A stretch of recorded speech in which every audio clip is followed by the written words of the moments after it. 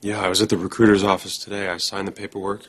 it doesn't matter. It's- What matters is that nobody wants me around anymore, and quite frankly, I don't. You don't. Steffi, I know. I know that this is happening extremely fast. I get that. I did. I had.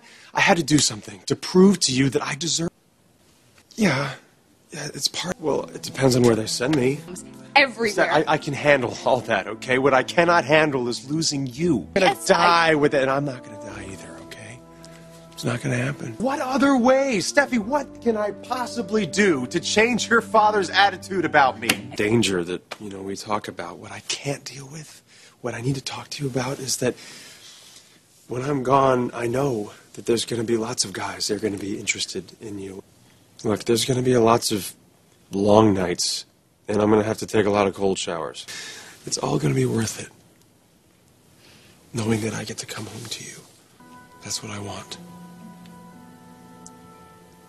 Please tell me that that's what you want too.